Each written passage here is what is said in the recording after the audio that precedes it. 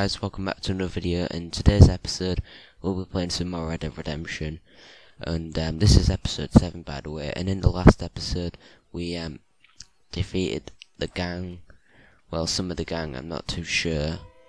Um, weren't too focused on the story, but what we did was um, we defeated Bill, the gang and then we earned like um, quite a lot of money from doing it. And I think it was um, Bill William, Williamson's gang, I'm not too sure. But in today's episode we'll be doing some more missions and first we'll be doing a Bonnie McFlyen mission. So yeah, let's get right into it.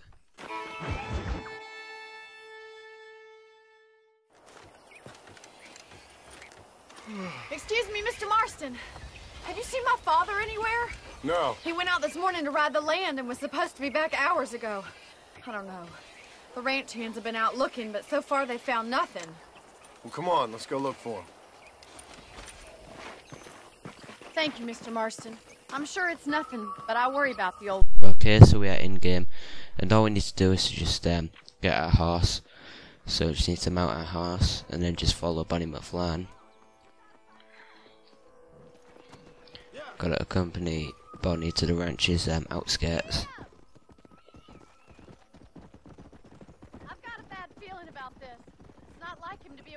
So long. Don't worry. We'll find him. He's not as young as So I think Bonnie McFlynn's dad has gone missing. I'm not too sure.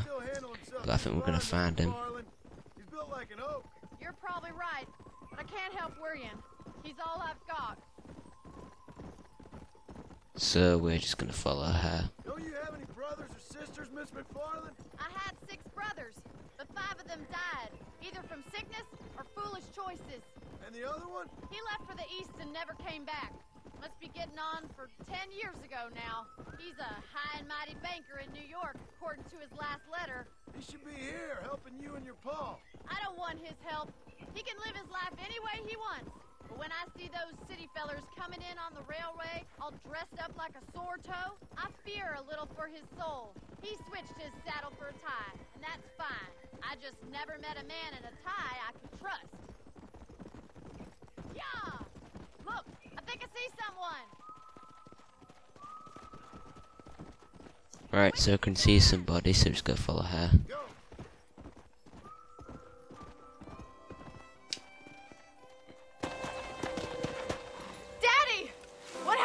Nothing nice.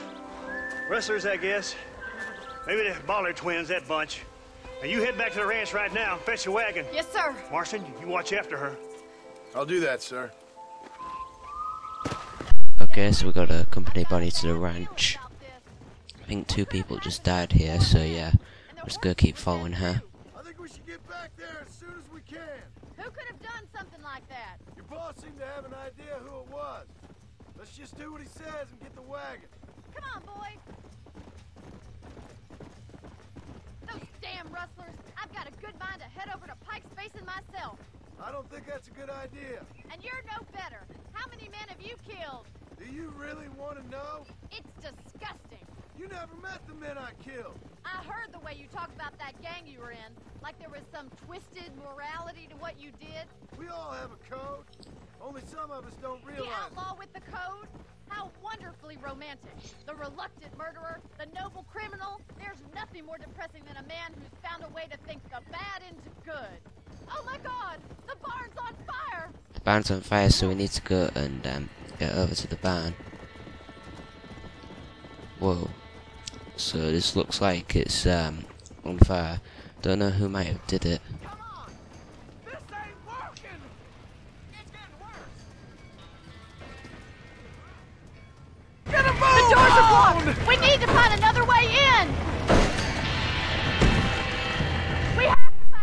Okay, so we need to find a way in. And um, we can't climb up the ladder, so we need to climb up this.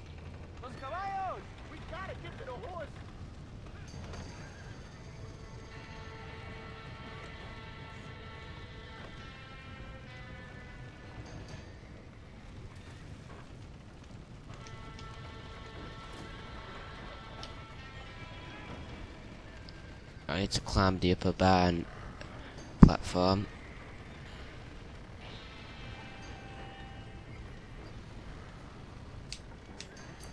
So just about to make it in from the front window. There we are. So, let's climb to the ground floor.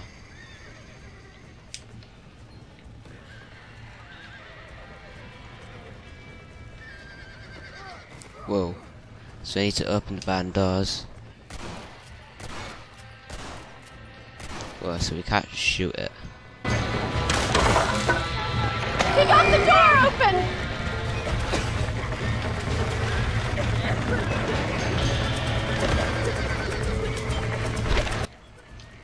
Need to try and get the horses out. To try and get the other two out. There we are. Need to get this one out. Uh, but we need to jump over with this one, so. Uh. How did I do that? So here's the first one. Second one.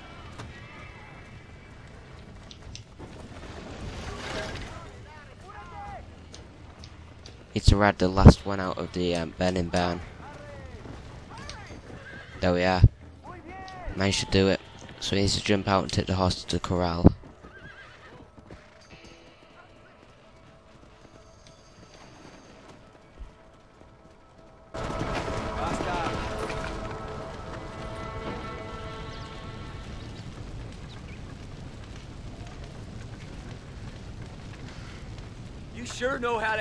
Yourself.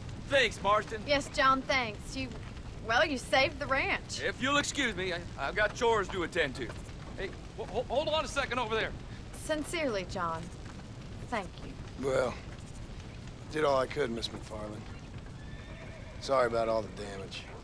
That gang seems to really want you out of here. Yeah, well, my father fought Indians. I scarcely think we're gonna be frightened by some white trash. White trash can be pretty frightening. Well, they don't frighten me. Good. John, my family owes you a great debt. I think you got enough debt. You saved my life. All I ask of you is this. If I get back home and get my farm started back up, you'll sell me some cattle. I prefer doing business with people I know. Of course, Mr. Marston. It'd be my pleasure. Um. Well, you get some rest. I've got to go see how my father's bearing up.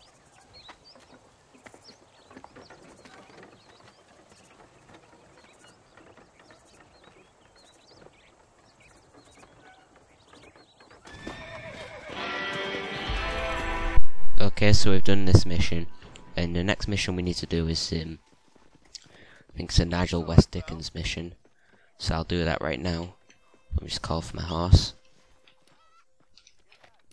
So I think we've still got zero ammo for um, my double barrel shotgun, so we need to try and get some ammo for it when we're in um, Armadillo, so let's just ride over there now. Okay, so we've made it over to Armadillo, and um, now what we need to do is go to the Nigel West Dickens mission.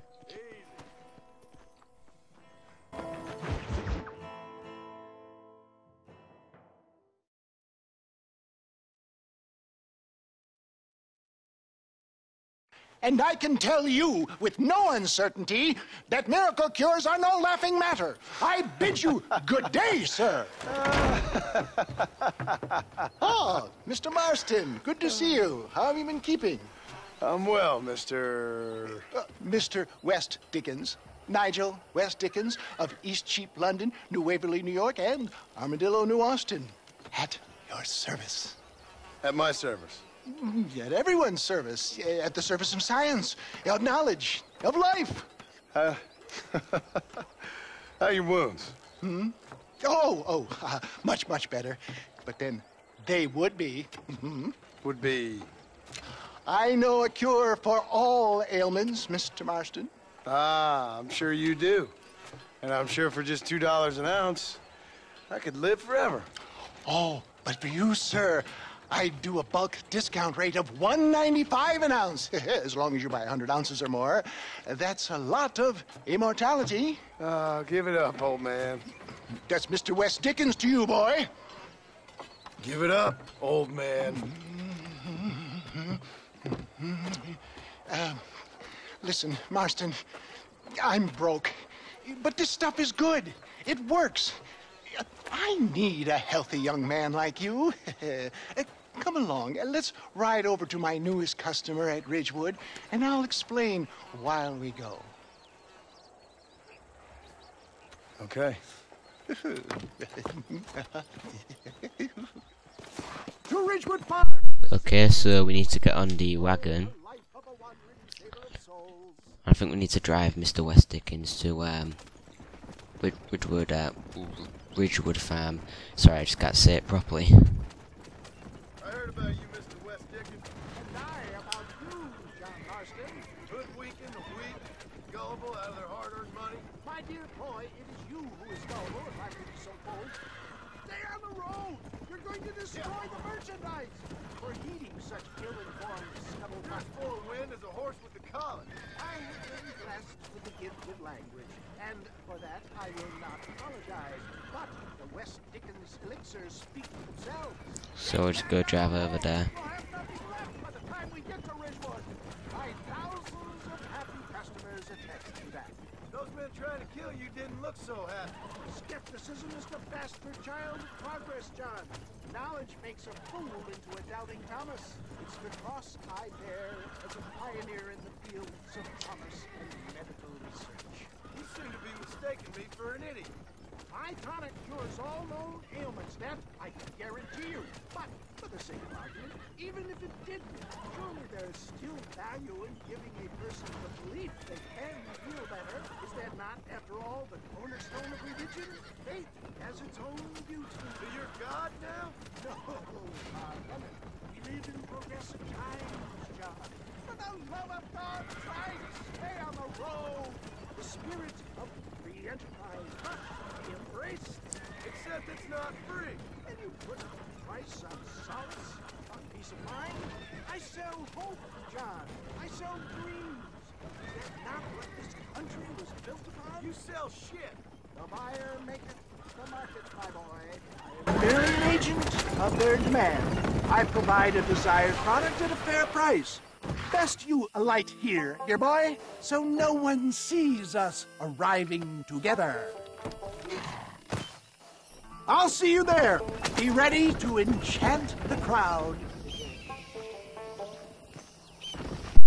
Okay, so we're gonna go to the Nigel West Dickens show over in Ridgewood.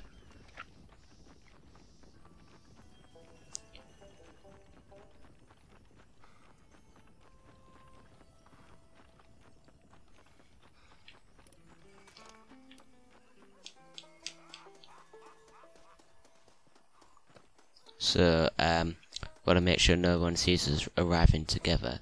Now we're gonna show off the Deadeye thing. I didn't know that. Friends, hardworking souls of uh, Chola Springs, uh, gather round, gather round. Do you suffer from rheumatism, lumbago, acute chronic sciatic, uh, uh, neurologic, or inflammatory pain? Well, I represent the only company that makes the genuine article that cures headaches, neuralgia, uh, earache, toothaches, backache, swelling, sprains, sore chests, swelling of the throats, contracted cords and muscles, anxieties and ravaged nerves, stiff joints, wrenches, dislocations, cuts and bruises, and it adds vitality and vigor to the healthy man. But can you prove it, old man? Oh, I'm sure there's some customer here who could prove the qualities of it by taking a drink right now. You, sir, come up here. Step right up. That's the spirit. Ladies and gentlemen, pay close attention. This poor, wretched volunteer, entirely unknown to me, will demonstrate the effects of Dr. West Dickens' own patent tonic.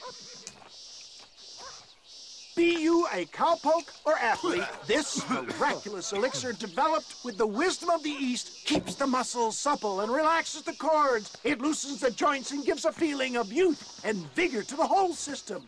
Not possible, I hear you say. Well, doubt no longer.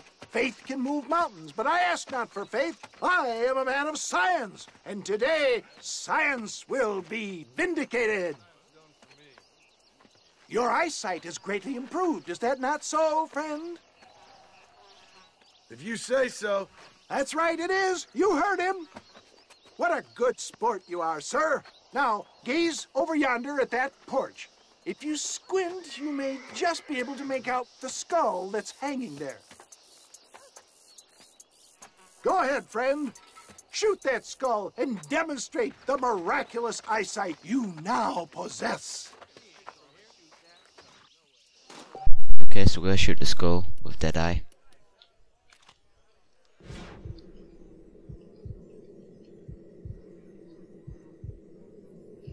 Remarkable! The eyesight of an eagle, granted by imbibing Dr. West Dickens' own patent tonic.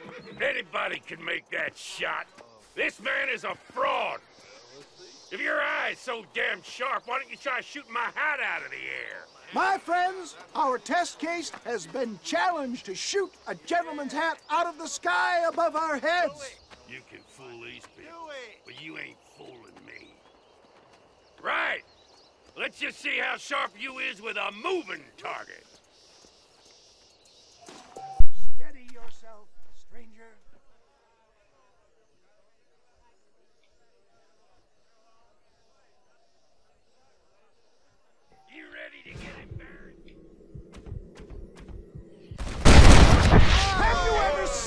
Seen such an eye? Behold the power of the elixir, plucked out of the sky. Hey! Hey! What? You think you can put a hole in a man's hat and just walk away, do you? Well, it don't work like that around here, mister. Come on! Are you a man or not? A challenge of battle has been offered to our volunteer. What? Well, so we need to, um, we're having a fight right now. We need to go and ground tackle him. Because he doesn't believe that we have unlocked Deadeye.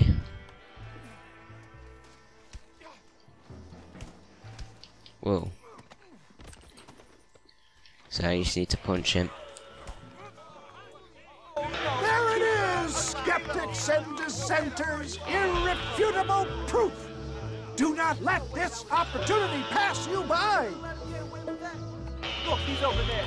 Go get him. This ends now. Watch out, he's got a gun. Who the hell do you think you are? You ain't leaving here alive. Okay, so he's got a gun. Marvelous shot, dear boy. The kind of deadly accuracy that can only be afforded by the West Dickens elixir. Come, I have plenty for all. You'll be fine. Get out of my way. Hey! Where are you going? Oh, I, I want a bottle. Get me a bottle, please. One of them, right here. No harm in trying one bottle, I suppose. Well, I think that went kind of well, don't you? I'm just glad that my normal job involves either chasing after cattle or murderers. Not the likes of you, mister. Don't be like that. Now, if you'll excuse me, I'd like to say my goodbyes, head on back to the real world. Uh, wait, sir. I, I've been thinking about your predicament, and I think I may have an idea. I've been thinking I could be your cunning Odysseus. Beware of the Greeks bearing gifts, sir. hmm Williamson had better beware. We will make them into Trojans. I don't rightly get you. I want you to go and see my old friend Seth. Uh, he can come across as a little curious, but I'm sure you two will get on. Uh, He's uh, most often found at Coots Chapel. He's very devout. Why see him? Because between him and me, we can get those gates to open for you, and you can walk right in, just like in Homer's great Trojan yarn. Uh, Okay, so um, we've done the mission and we've also unlocked deadlines. Deadline, so yeah. Um, thank you guys for watching. I hope you enjoyed this um, video. Please like, comment, and subscribe, and I'll see you all later. Bye.